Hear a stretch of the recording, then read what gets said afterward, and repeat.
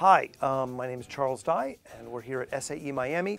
Um, we're going to take a look at uh, all the tools that we use for vocal mixing and techniques for how we use them to take a lead vocal from sounding well recorded, but but in the sense of sounding like a polished record, it can initially sound kind of flat and lifeless and we'll bring it to that place uh, where um, it sort of sounds like it's just popping out of the speakers and, and at the same time blending perfectly with the track, not making it sound too small.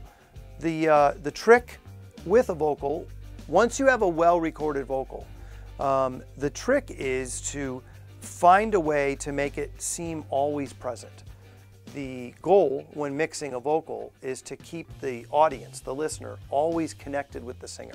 That girl is all I'm thinking about. Spend my time, try to think, try to figure her out. I've gotta know, gotta know how I can get her. Oh, yeah, yeah. We use compression to even out the dynamics of it and make the softest and loudest syllables all sort of be right up front. Uh, we use EQ um, to even out the frequencies in the, the voice. And then we use ambience treatment, reverb and delay to uh, place a space around the vocal so that the vocal can sound big and uh, large and important, yet at the same time not feel uh, drowning in reverb.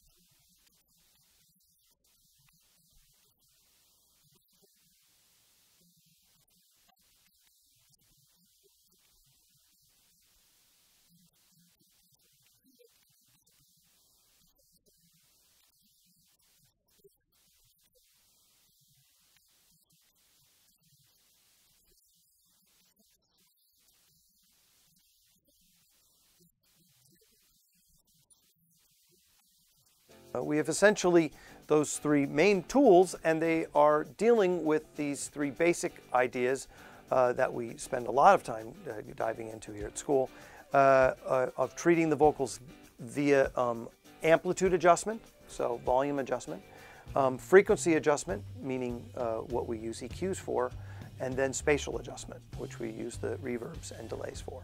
So uh, in the next videos, uh, we'll be taking a look at each of the tools and how we accomplish this.